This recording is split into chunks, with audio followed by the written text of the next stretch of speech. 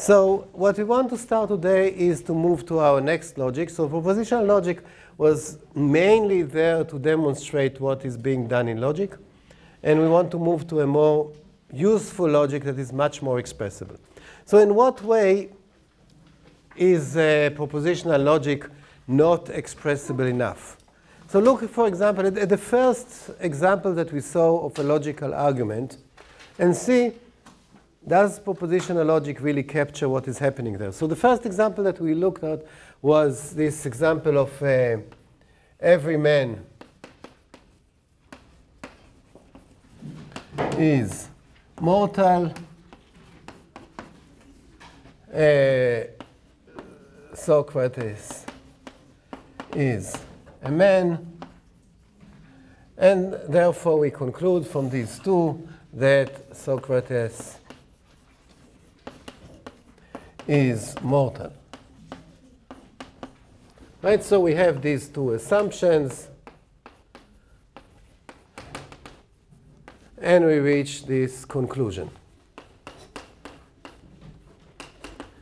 And we said that the goal of logic, or one way of viewing the goal of logic, is that logic is a way to tell us how to get from assumptions to conclusions, right?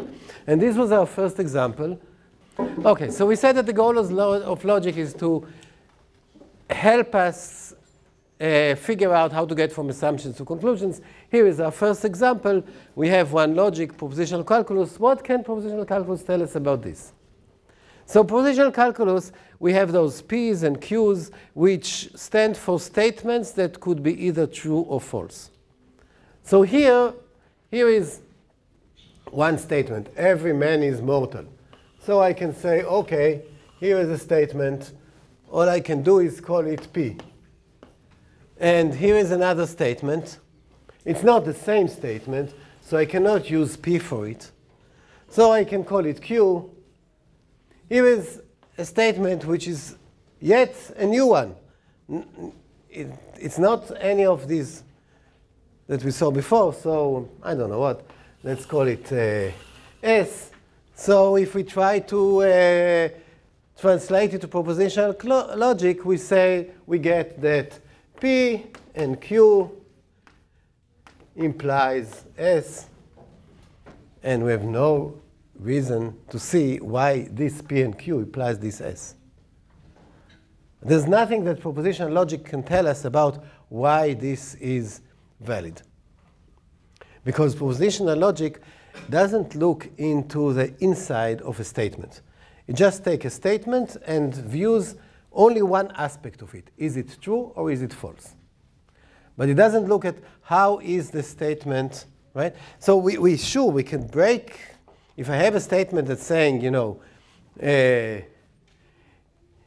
if, then, and so on, I can break it into substatements as long as I can connect them with my propositional logic connectives.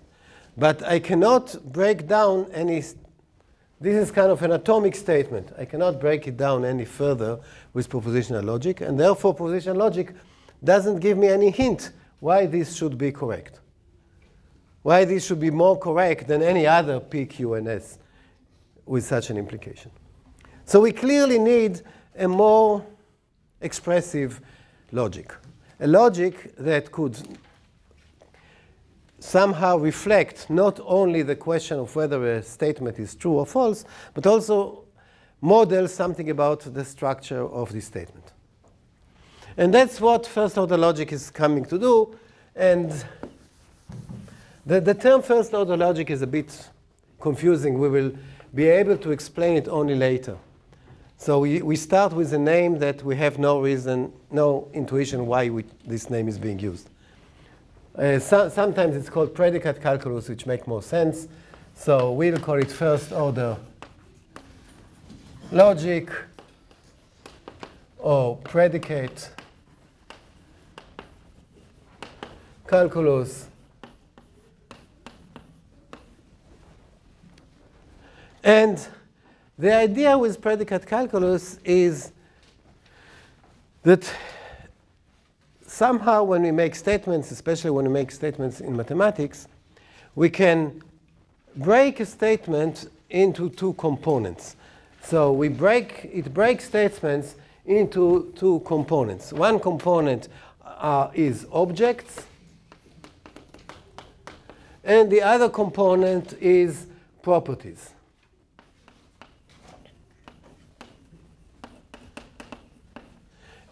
So this logic will somehow go down into the structure of the sentence and talk about objects and their properties. And here it is very clear because the, the first sentence it has an object man and it has the property mortal and we have the object Socrates and so on. So if we start breaking our statements into objects and their properties, then we can get more insight into why things may be true. Okay? Now, when I say properties, here the property is just a property of a single person, but the properties, we, this is what we call predicates here, they could be not just properties of a single object, but they could be properties of a group of objects. So it could be Johnny, John likes Mary. So this is, I have here two objects. This is an object, this is an object. This is a property, but this is a property that connects two objects. It's not a property of Johnny that he likes. Right? So the properties could be either a unary, they talk about a property of a single object, or there could be properties that connect few uh, objects, and then we call them predicates. So this is why it is called predicate calculus. So th this is the next step we are going to take. We're going to develop a logic that can break statements into the properties and objects. And this logic will be expressive enough that it will be able to tell us not only why this is true, but it will actually strong enough to discuss any statement in mathematics. And we will see that this logic is also expressive enough to reason about most things we care about in, in programs.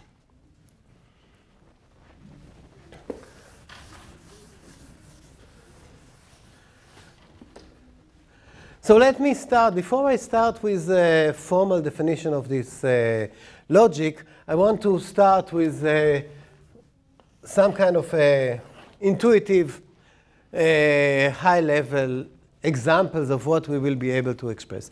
So the first thing to note is that, the, or the second thing, after we, we claim that this is a logic that's going to distinguish objects from properties, is that actually first order logic or predicate calculus is a big family of logics.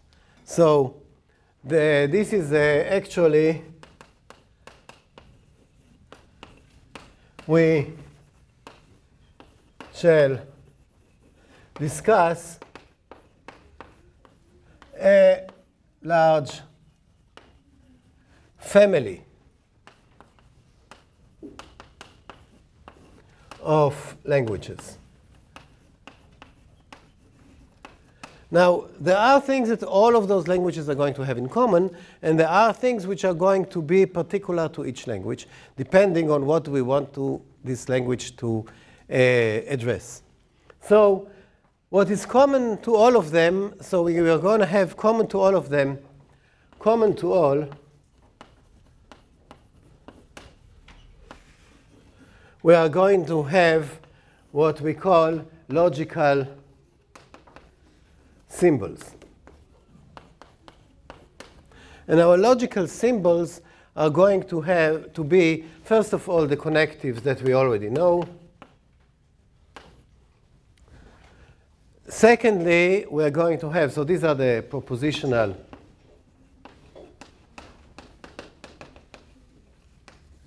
connectives. The second type of uh, logical symbols are going to be for all and there exist, which are called quantifiers.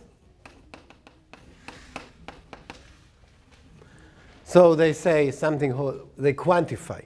This holds for all, this, there exists at least one for which it holds. One could think of other quantifiers as well, like there exist exactly two, or for all but finitely many. But here we will just have those two quantifiers that just tell me how often do my properties uh, hold. So these are my logical uh, symbols. The other thing that is common to all of the logics that we will discuss is the notion of equality. So we can, uh, there are also logic that don't use it, but we will in the class always talk about equality. So with equality, what I mean is that I want a way of saying that two objects are the same object, that two names refer to the same object. I want to be able that, to say that, you know, my, if I say my uh, oldest daughter, and I say Leo, which is her name, I want to be able to say those two refer to the same object. So I want to have to carry around with me the equality to talk about equality. And we will see why it plays a special role.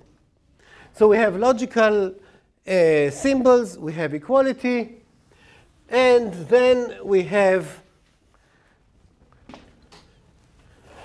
language specific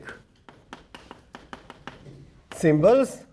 As I told you, this is going to be a family of languages, and every language will have symbols that will come to uh, allow us to address what is needed for this language. And, and those are going to be uh, of three types, constants, constant symbols, oh, let's call them, yeah, constant symbols, relation symbols, and function symbols.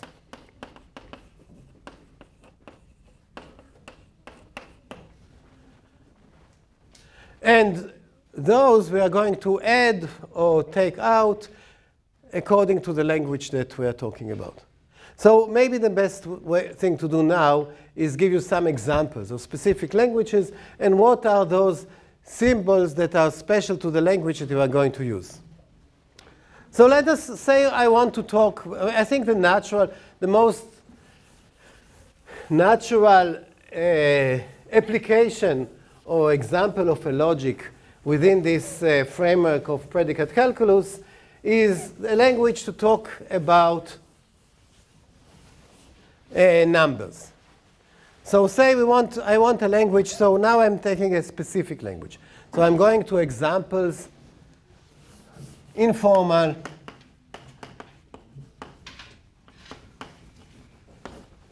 examples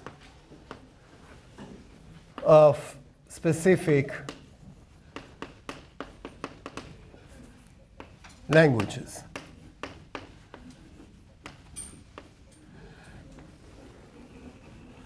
So if I want a language to talk about number theory, a language for number theory,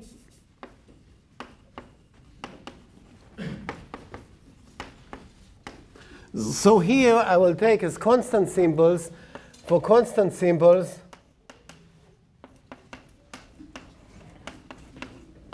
I may take, say, 0 and 1, because they are special numbers. They have special roles in number theory.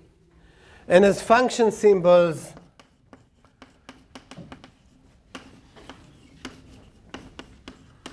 I may want to have plus and times. And as uh, relation symbols,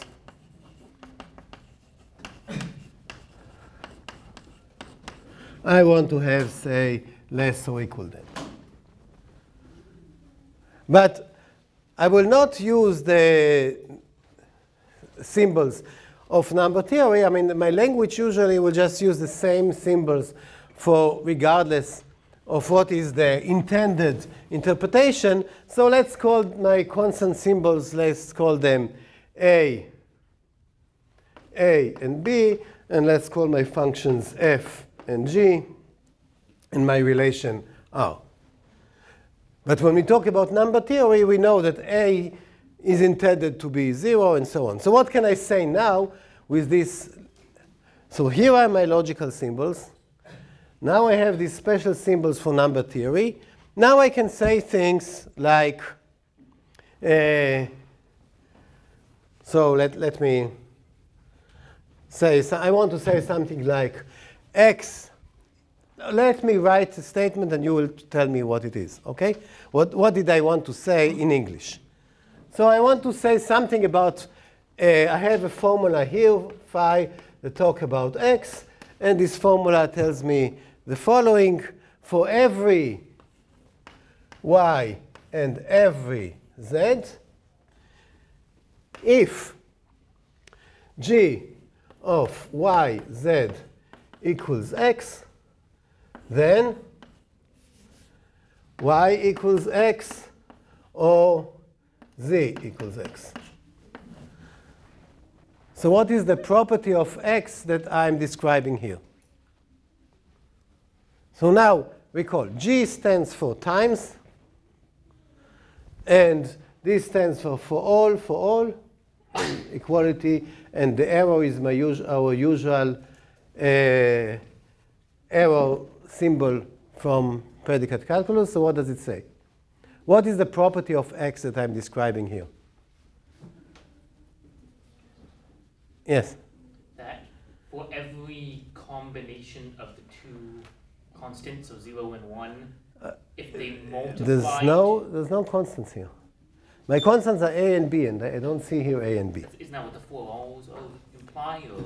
No, okay, so the, uh, there is also a notion of what is the domain that I'm okay, talking so about. And I'm talking about the domain of all natural numbers. So for all natural numbers, if they multiply to a number, one or the other is that number? Right, so what does it tell me about x? It's a prime number. It's a prime number.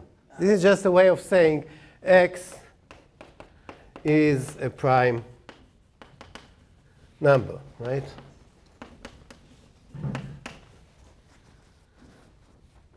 Can you try to say x is even.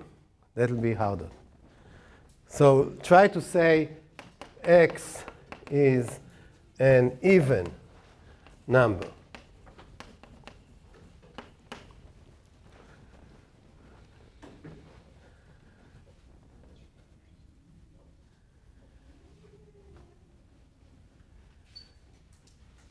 That's harder. So, you want to try? Yes. Uh, there exists a z such that Right. So I can say psi of x will be there exists z such that f of z z equals x. So you see I'm using the equality freely and I, I have my interpretation that says this is addition. So this is saying x is an even number. And I could also say differently. I mean, assume that I didn't have, assume that I had, I am, have a crippled language and I don't have f. Can I say that x is, you have a question here? No. I think How can I say that x is an even number if I don't have f in my language? In a, in a more limited language where I don't have a symbol for ad addition, yes? There exists a z such that g of z and 2. And, and where do I get 2 from? 1 plus 1. It's one part of your domain. 1 plus 1. Yeah, but then I don't have plus. Can't use specifics of your domain? No, I cannot. So you see, all I have is this language. All I have is just those symbols. So maybe it's going to be difficult. I don't know. yeah, you can't even get two because you can't add one and one. No, you cannot. I mean, you all can only use the symbols of your language. Okay? So the, anyway, these are just informal statements. Let's look at a different example. So I can say all kind of things about natural numbers, and I can even phrase Uh, okay, let me, let me just give you one more example. Can anybody tell me this, say the statement, there exist infinitely many prime numbers? How can I say with this language that I have here, I want to say there exist, there are infinitely many prime numbers. Yes. You can say for all x for which that symbol of x is true, there exists y for which x is less than or equal to y, and that symbol of y is true. Right. I don't even need the x. Right. So I can just say for every x, there exists y such that uh, r x y and phi of y. Rxy tells me x is less or equal than y. And phi of y tells me y is a prime. Where phi is, I can substitute this. So this is my phi. Well, see, if I say for every x there is a y above it that is a prime, then it's equivalent to saying there are infinitely many primes. So this language for number theory, all I need is this collection of specific symbols, and I can say quite a lot of things. So now let us look at another example.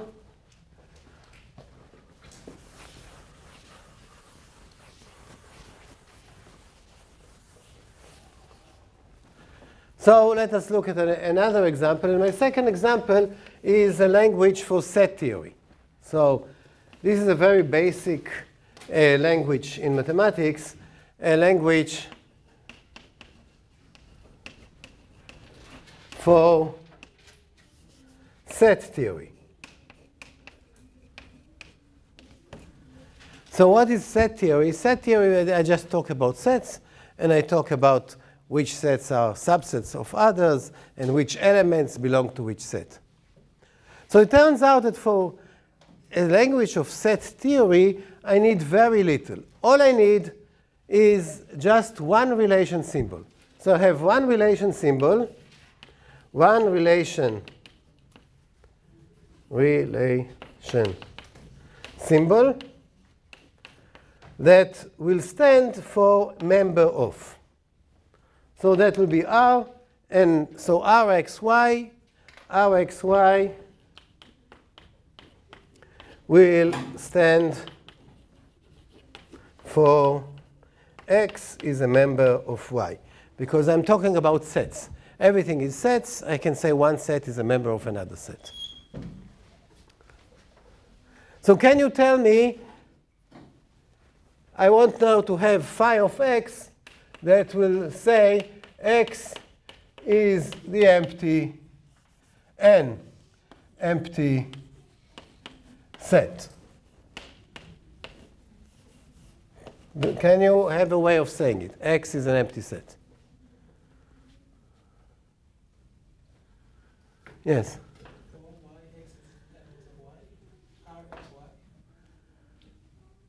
For all y, the empty set is not an element of every other set. A subset, but they don't have subset.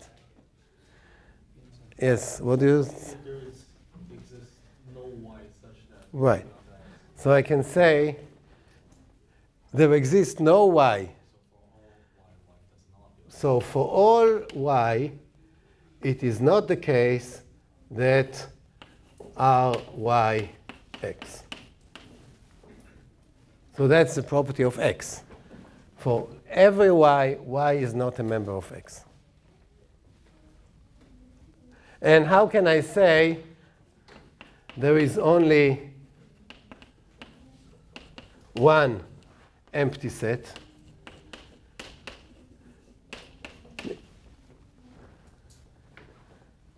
Yes? Phi of x and phi of y, x equals y. Right. I'll say if phi of x for every x, for every y, phi of x, and phi of y arrows x equals y. If x is empty and y is empty, then they must be the same element. So you see we are using the equality strongly. How can I say, for example, that x, I want now a property, I want a psi of x and y that will say x is a subset of y. How can I say that? Yes. For all the values in X, For all what? for all elements. Uh, you have to give me a formula. Yeah, for all Okay. the that are elements of For all z, that elements of uh, so then what? What, what? How do I say elements? can you use Yeah, I can. You can use whatever you want. I'm not saying it's impossible. yeah, I'm just trying to wrap my head around the formula. Yes. uh. Yeah. Um, so R of ZX R of z x implies implies R of Z. R of z y. Right. R of z for all z, if z is a member of x, then z is a member of y. Okay? And now you, it's not difficult to see that I can say z is the union of x and y. I will say for every, for every element t, if t is in z, then t is in x or t is in y.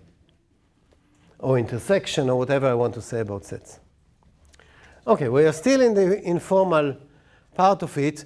Let me just give you one more examples of what can we say informally. But now, instead of talking of, of, of taking a domain and say what should be my logic to discuss this domain, let me look at an example and ask what can we express if I don't have any.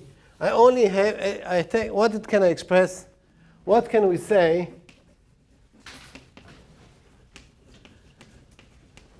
In the minimal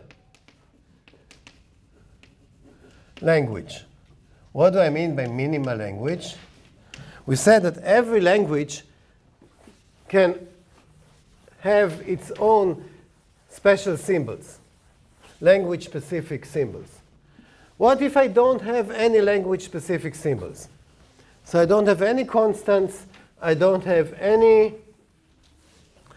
function symbols, I don't have any relation symbols. What can I say? That's a good question. Am I back to propositional logic or I can say something more than that?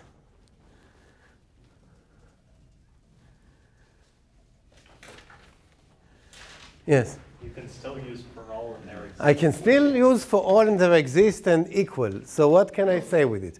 So let's see how can we say with the empty language.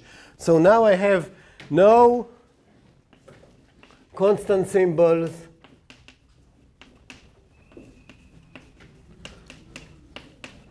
No function symbols.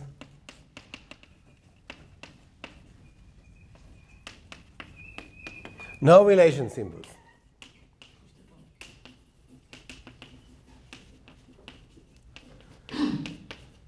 And I claim that I can still say some things. Yes. Um, something you couldn't do in propositional logic is things that previously would have been infinitely long propositions in propositional logic. So all propositional variables are the same. Um, for all x, for all y, x equals y. Right. So it's not propositional variables. It's not. Right. So I can say, I can talk about my universe. I can say I have in my universe only one element. So this statement say for every x, for every y, x equals y, which is the same as saying there is only one element in my universe.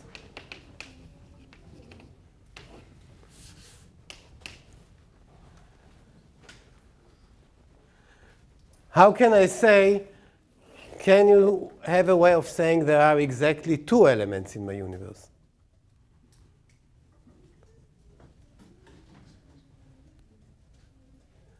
Or let's say, let's say something like this. There, I want to say there are more, or okay, let, more or less, more than two elements. How can I say this? Any new voice? Yes. There exist x, y, and z such that not x equals y and not x. Right.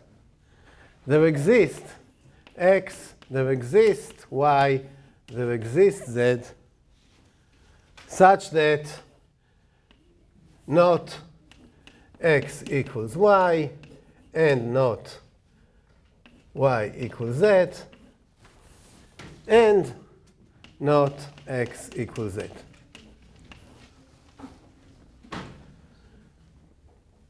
There exist three elements such that no two of them are the same, which means I have at least I have more than two elements. How can I say there are at most two elements?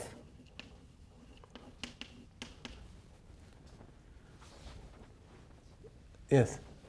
Um, for all x, for all y, for all z, either x equals y or x equals z. or y equals z. Right.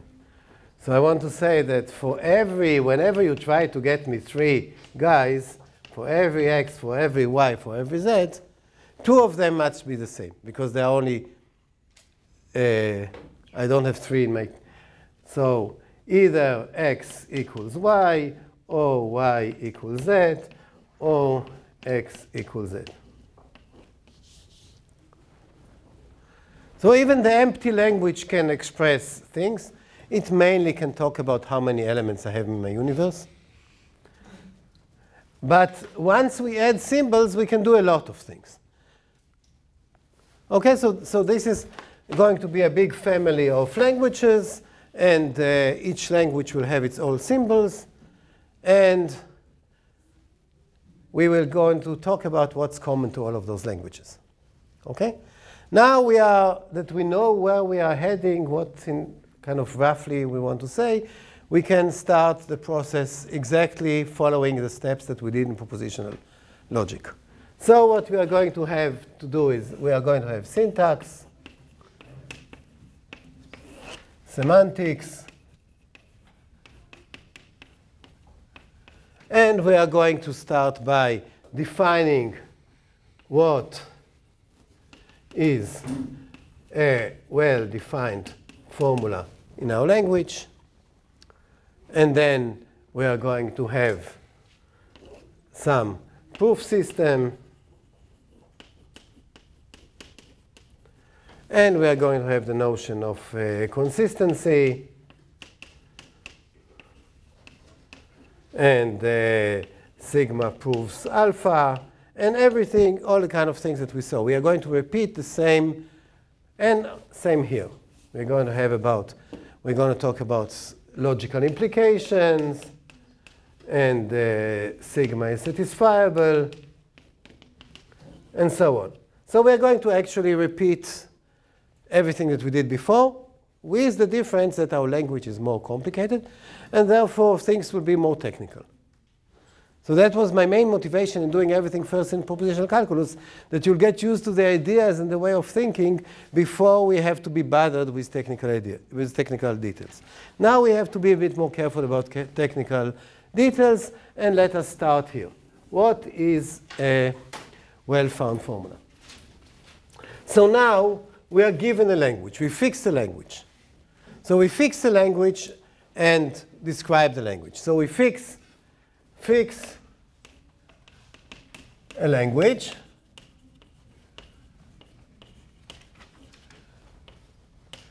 What does it mean to fix a language? So we fix a set of uh, constant symbols.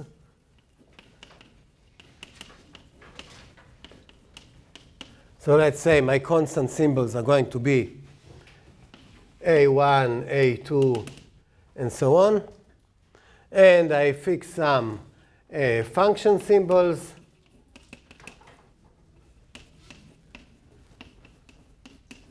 And there are going to be, say, F1, F2, and so on, but with which each of them I have to tell you, we also have to tell you what is the arity of those functions. So with each of them, I have to tell you what is the arity. So this could be 1, 1, 3, 2, and so on. What do I mean by arity? Is a, is a function of one variable, or is it a function of three variables, or is it a function of two variables? So when we fix, uh, we fix our function symbols, we have to declare for each of them how many variables it addresses. So this could be like things like addition is a two variable function, a square is a one variable function. Okay? And similarly, we are going to have our relation symbols.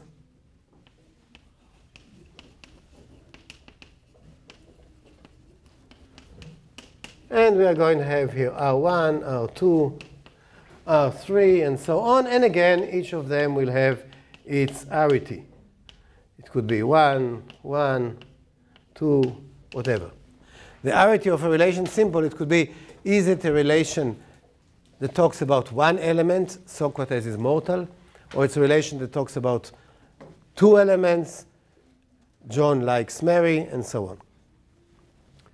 So this is our language. On top of it, we have the uh, logical uh, symbols that we talked about. Logical symbols are what we knew from propositional logic plus the two quantifiers. So this is, these are our characters of our language. And now we want to define the set of all WFFs, the set of all legal formulas. Now it turns out that here, before I can define the set of all legal formulas, I have to be even take things more slowly. So the first thing I'm going to define is the th set of all objects that are going to denote oh, the set of all sequences that are going to denote object. So our step zero, before we can define even our first step, step one, is we define the collection of uh, words. Well, with words, I mean sequences of characters that denote objects. You remember we said that this language distinguishes objects from properties, and the things that denote objects are going to, the, we are going to call them terms. And the set of all terms is all, this is not even, I'm not even talking about my language, because my language, see, uh, my language could be saying x is an odd number. But x is a term. x talks about an object. So I, am going to have my objects, and I'm going to define the set of terms. These are the objects. The set of terms is already defined by inductive definition. So the set of terms the set of terms is defined, the set of terms is defined as I, A, P, well, A, my core set, is the set of all constant symbols.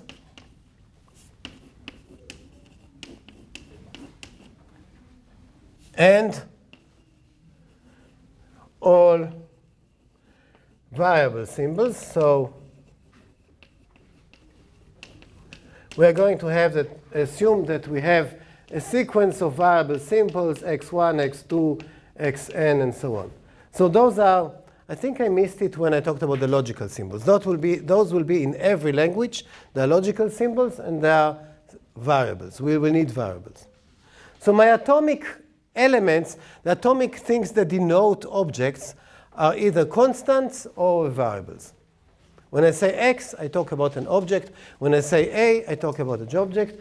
And we're going to have p. And what is p? The set p is going to be the set of all uh, operations. So the set p is going to be the set of all O of f such that f is a, a function symbol.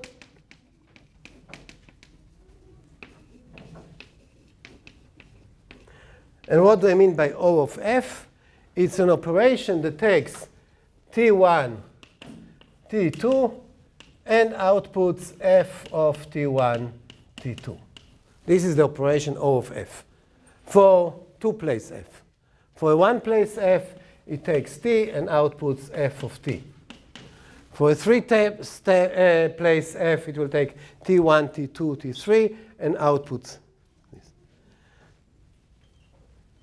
So my objects are either constant or variables, and things that I apply functions to. So now that we have defined our A and P, the set of terms is well defined, and we can look at some examples. But notice that we don't have any statement yet, nothing that can be true or false. It's just what shall we denote, what shall we use to denote objects? There was a question here? Okay, so let, let me just go, I mean, we know what is inductive definition is, but let us just uh, consider some examples to see what do I mean by terms. What can I get in this set? So let us go back to our examples that we had before. What will be the terms, examples of terms? So what will be our terms in the, the language for number theory? The first example of a language that we discussed. What uh, kind of terms am I going to have there? So I'm going to have there, of course, A and B, because, and I'm going to have X1 and X2 and so on. All of those are atomic terms. But what else am I going to have here? But yeah, but there was my f, right. So I'm going to have here f of ab, which was the plus. And I'm going to have g of x and a, and g of xy.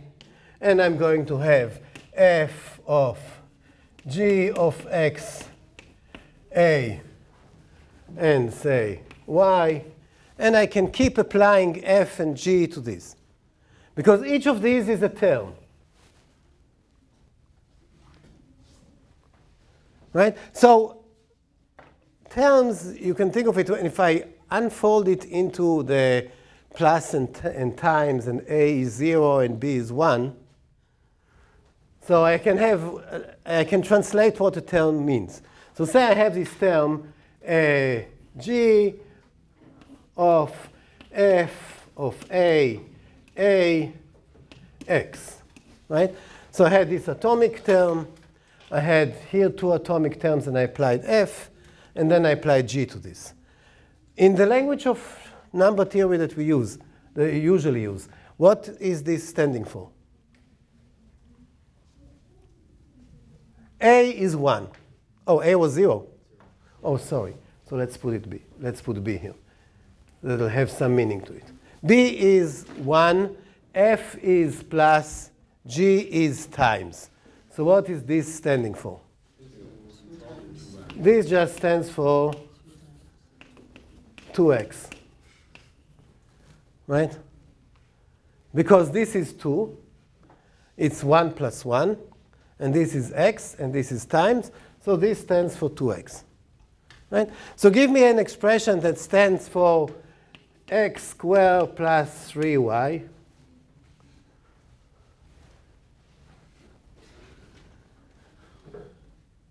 So what do I need to do here? I need to do write x squared. How will I write x squared? gxx.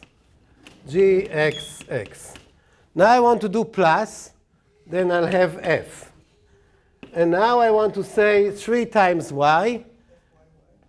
So it's going to be, right, I can do f of f, y, y, and y. Right? So fyy is y plus y. Plus y, I have here 3 y's. And then I do x times x is x squared, and the f is plus. So we see that in the language of number theory, it's not difficult to see that every term is actually a way to denote a polynomial. And I will not be able to express anything other than polynomials with my terms. So my terms are going to actually be a clumsy way of writing polynomials. These are going to be my terms in the language of number theory. Does it make sense? Right? If I write a term, you can translate it to a polynomial. I give you a polynomial, you can find a term that corresponds to it. But I still don't have any statement that I can say it's true or false. It's just the object that I'm going to talk about. These are the objects that I can talk about. OK, let us move to the next, our next example. So our next example was the language of set theory. What are going to be my uh, terms in the language of set theory? So example two, the terms of the language of set theory.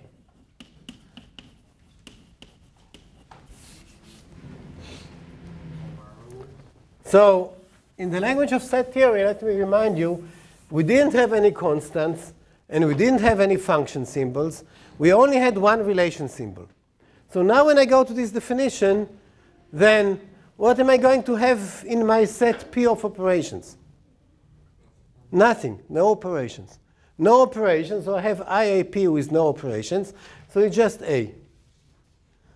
So this is just going to be just, are no function symbols. Therefore, the set of operations is empty. So IAP is just A. So it's just the only terms that I will have are the variables. I don't have any constant symbols. That's the variables. And what will be the terms in the empty language? What are going to be the terms? My third example, the terms in the empty language.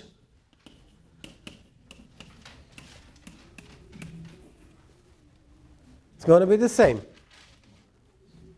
same. Just variables, symbols. Okay. So given a language, given a vocabulary, a set of specific symbols for the language, I can talk about the terms of this language. In the worst case, in the minimal case, the terms are just going to be the variable symbols. If I have functions, then I'll have more and more terms. If once I have functions, I already have infinitely many terms. Okay? Now we are moving to the next step.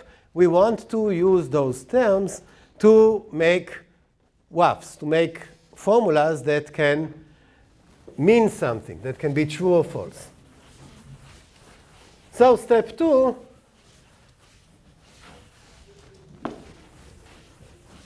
is I want to define now the set of all formulas, but I start with, I still, I even have to work for the atomic formulas. So the set, the second step, step two, is defining our WFFs, our formulas. And we'll do it again, again, as I A P.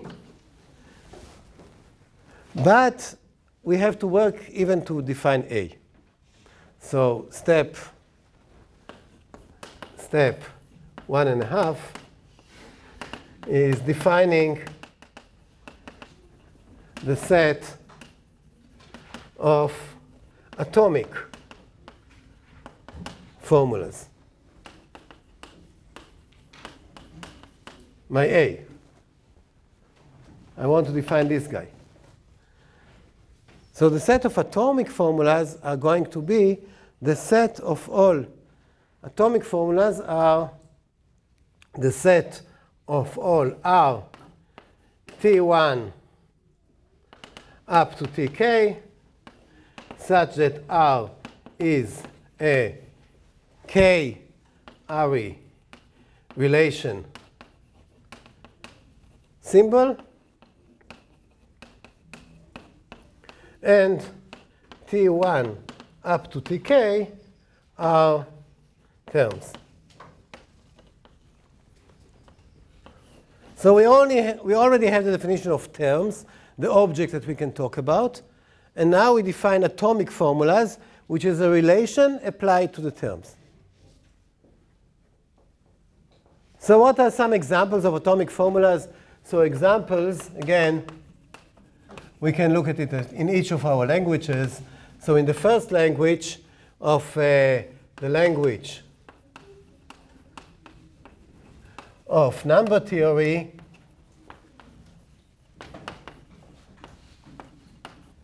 we can have things like what? Can you give me an example of an atomic formula in number theory? Yes. Uh, A is less than B. A is less than B, right. So RAB means it really stands for 0 is less or equal than 1. And this is going to be true. Can you give me an example of a more complex formula? I can say, I can use any terms here. I have only one relation symbol, but I, I can only use R, but here I can have any two terms. So I can have R of F A X G of F B B Y. Did I put enough? Uh, yeah. So what does this stand for? It just stands for saying fax is x plus 0. And this is say is less or equal, then FBB is 1 plus 1 is 2, less or equal than 2y. So this is an atomic formula that says x is less than 2y. Or x plus 0 is less than 2y. So this is a term, t1. This is a term, t2. And I can state a relation statement over those terms, or a predicate over those terms. Okay? But now already the, even the empty language can state interesting things. So what can I say in the in the language? So let me go now the other direction. So I, I ask you to make a statement in the language of uh, an atomic formula in the language of set theory. So here we are, the language of set theory. Give me an atomic formula that says that y equals x intersection z. Can I say so? No. No. Y is a member of x intersection z. That's something I can say. But equal sign itself is already a, uh, a. What? Common, common, yeah. What, what, is, what is bothering you?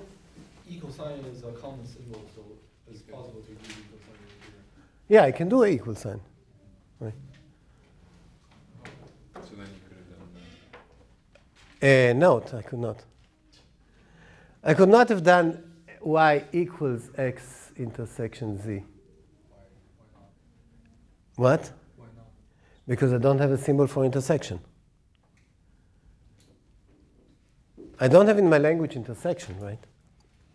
But we can express intersections using the given. But it's not going to be an atomic formula.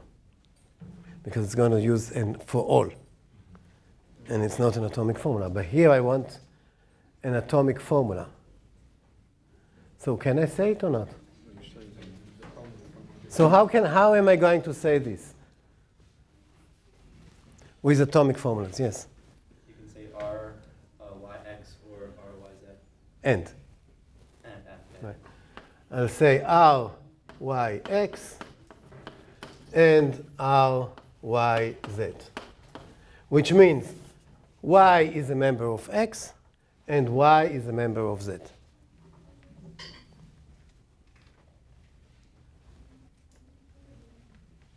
Yes.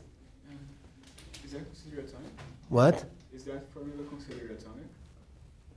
Oh, it's not atomic, you're right. Yeah. It's a connective. Oh, very good. It's not an atomic formula. Oh, I cannot say much. I can say an atomic formula. I can only say X is a member of Y. Right? Too bad. Right. So the only thing I can say in atomic formulas is very little. I can say Y equals that, which is really impressive.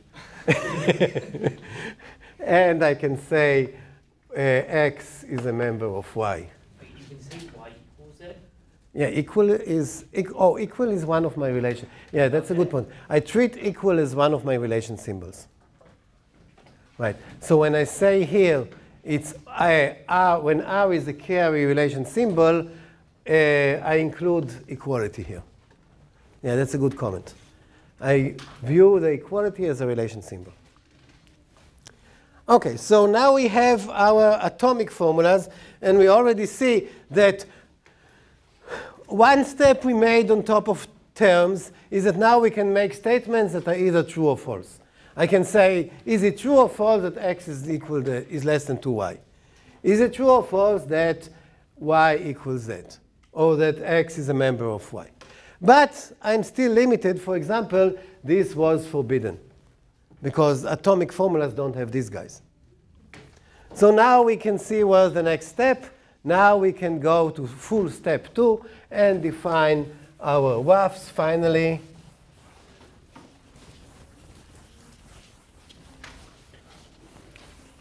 So our set of WFFs, and this is language specific. So the set,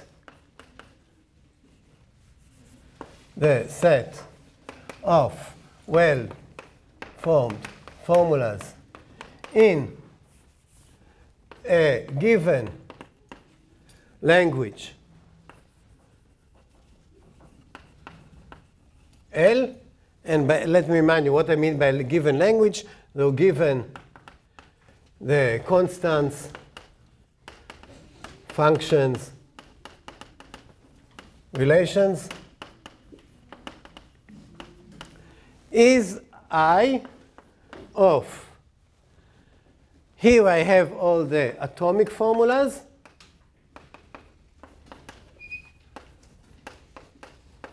that we got from generating terms and applying relations to the terms. And here I have my usual operations that I know from propositional. So my set P.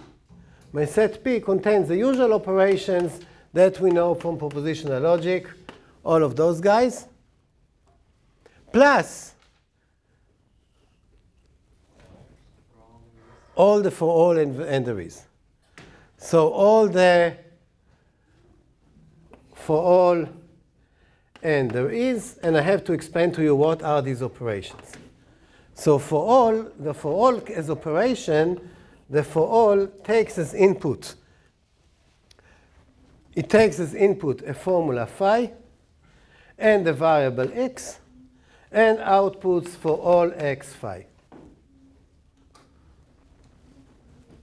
That's the operation for all. Maybe I should have called it O of for all and O of, maybe it's, it'll be more clear. O, the operation for for all, and the operation for there exist, where the operation of for all takes a formula and a variable and says for all x, the formula holds. And the operation for exists takes a formula phi and a variable, say y, it doesn't matter, and says there exists y such that phi. So now we have our set of operations. We have our notion of atomic formulas.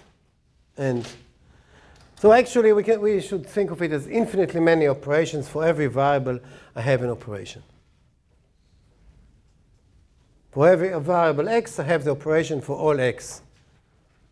Yes?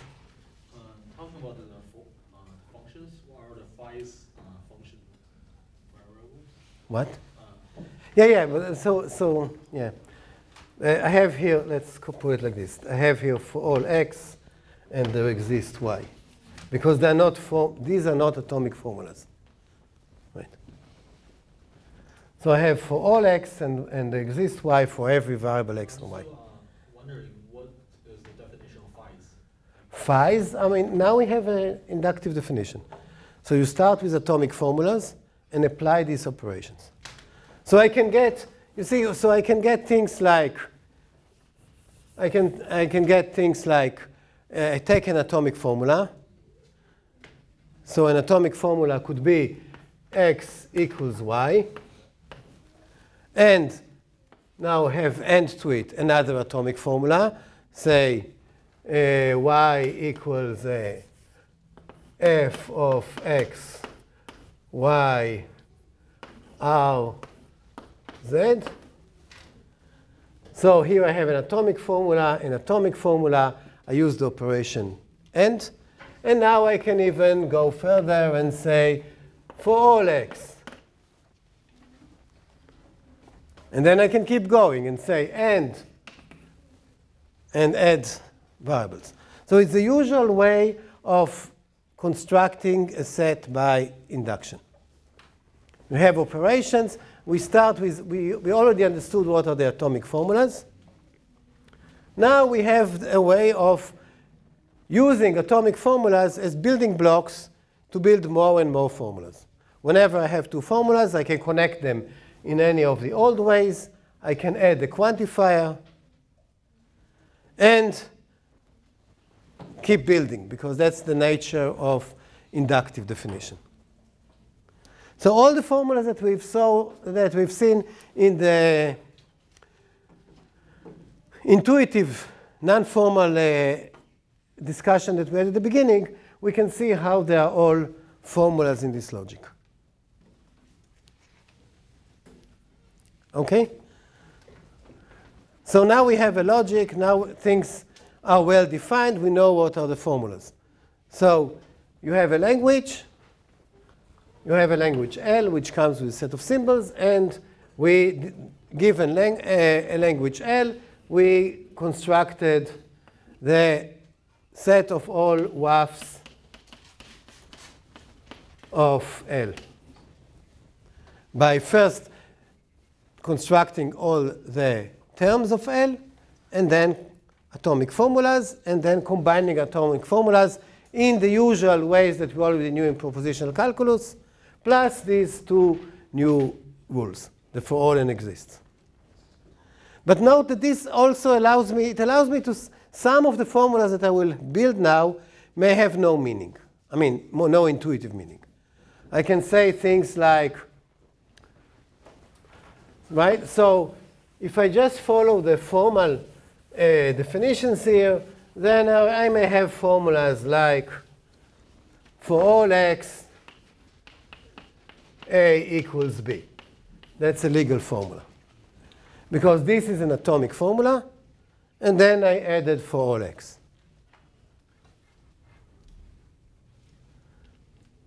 And now we can ask things like the first games that we were playing in proposition logic. I can give you things and ask you, is this a formula or not? Now, I'm not going to repeat here the games with parentheses that we did before. You know, counting parentheses and showing that uh, how can we define, check what is a formula and what is not. It, it is all kind of repetitious to what we did in propositional logic. But the one thing that I do want to emphasize, which is a kind of a pitfall that people, that students tend to fall into, is that note that the very important to note the distinction between formulas and terms. So if I tell you something like 2x plus y squared, I cannot express it in a formula. It's not a formula. This is a term. So this is a term. But to say, and for all x, 2x plus y squared, what about this guy? It's nothing at all. This is, this is a term. This is not even something we could create. Because I can apply for all only two formulas, and this is not a formula. So this is just not appearing anywhere in my language. What I can have is say 2x plus y squared equals x. This is a formula because this is a term, this is a term. Now I applied a relation, the relation equal. This is an atomic formula. So this is the legal atomic formula.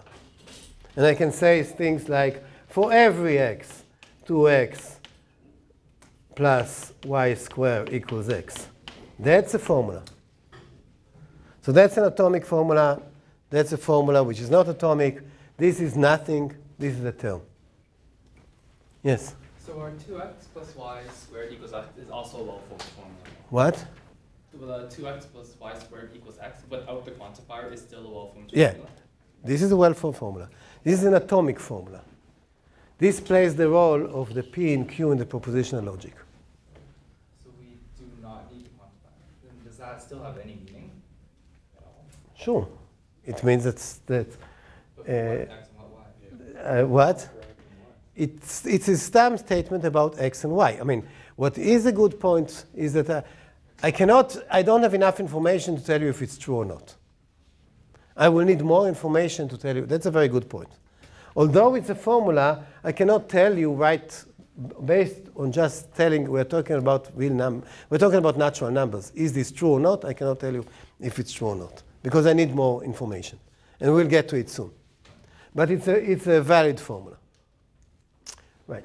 So this is a, the next step that we will, we will get into.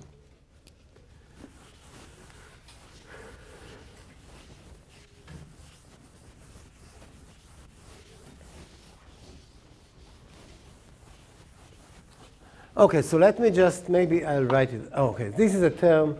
This is an atomic formula.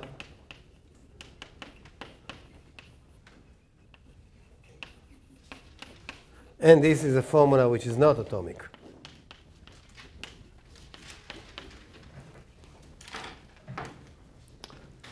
Right, but what you were asking about is about the semantics. Can I say for every formula, will the semantics tell me if it's true or not? And this is a formula that if I tell you my semantics is the natural numbers, you don't yet know if it's true or not. So this, but we will discuss it in more detail when we get to the, to the semantics. Okay? What I want now to talk, I mean, it's very related, and this is a step that we will have to prepare for the semantics that we didn't have before. So the next syntactic notion that we are going to need is the notion of, so we, we know what our formulas are. We're still in the, completely in the syntax. The next syntactic important syntactic notion is a notion that we didn't have in something like that in the proposition logic, and that's the notion of a free variable.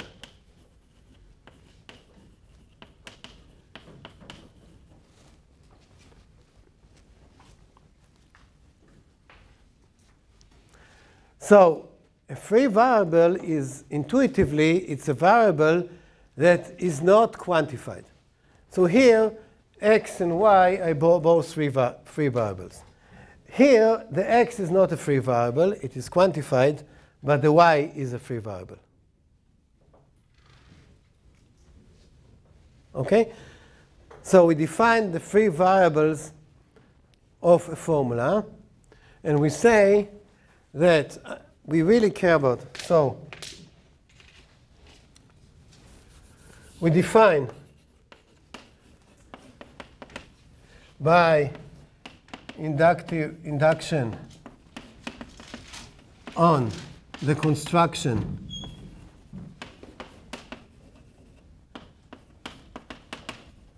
of the set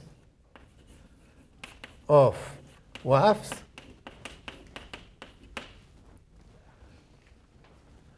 What are the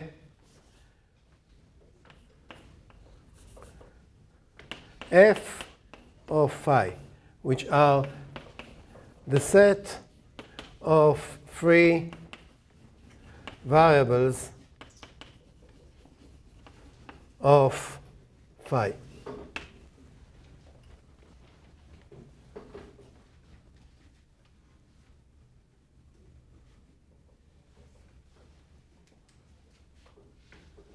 Okay, and now how, how do we define it, a set of free variables?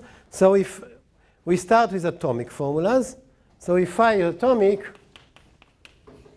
is atomic, then phi of f of phi is the set of all variables occurring in phi. So the free variables, let us look at some examples.